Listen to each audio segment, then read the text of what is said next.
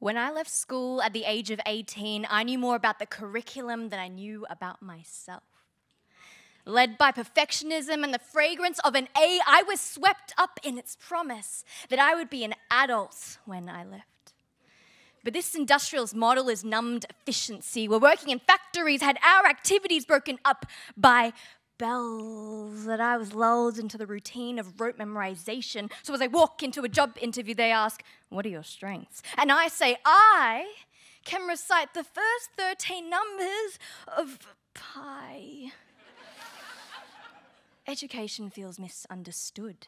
School tells us that the answers to our questions can be found in the back of a textbook, but to save our burning questions for after class.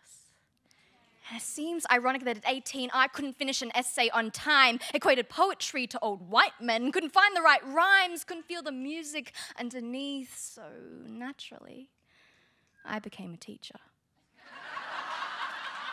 I realized unsustainable in existence where we teach through standardization, trying to fit diamonds into square blocks.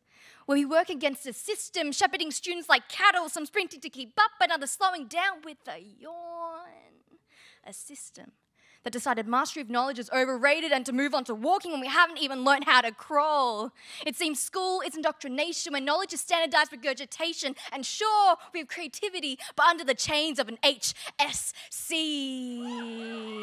Our goal should not be to make conformists, but creators, fueled by critical thinking, lateral thinkers. So all the misfits, outcasts who didn't fit into the mold, the system should see your unrestricted potential. That difference means brilliance and that be education.